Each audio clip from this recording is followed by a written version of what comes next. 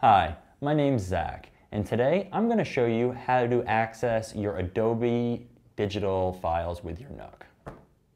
Now, first I'm going to go by starting out my Nook and swiping to unlock. I have recently put a passcode on it, so I'm just going to type that in and access it.